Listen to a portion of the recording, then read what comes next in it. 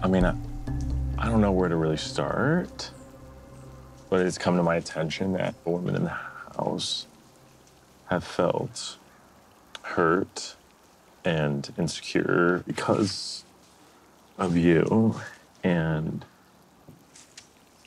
I was shocked and I wanted to talk to you about that.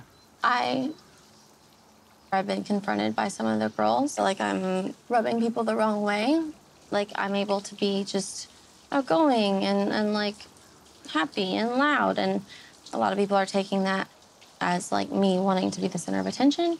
And that I feel like I'm privileged in a way or like more special or have a better relationship with you than other people because like I met your family. But like there were two girls to kind of confront me. But I was happy to offer clarification and I thought it was settled.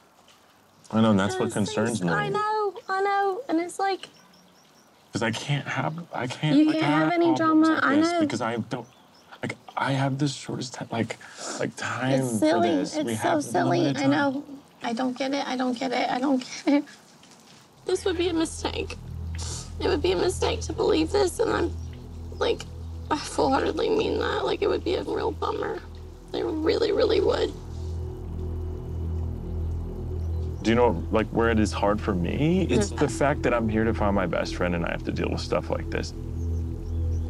I'm, I'm, I'm nervous. I'm worried. I'm I'm, simply like, like, I'm worried, hundred percent. That's scary. Like, what the? That's not me oh. at all. I oh. just feel like I don't want to be the victim, I get what you're doing. Like, I get what I- you have to do this. No, not what you're doing. I get what you that you have to obviously confront this, but like, this makes no sense to me. What can help? Please help me. Help me. Help me. Help me. Please help me. I don't know. I have to think. I have to think. Like this is all being thrust upon me. Give me a hug. I wait. I need to think about just everything. I need to think about it. I didn't expect this tonight. I really didn't.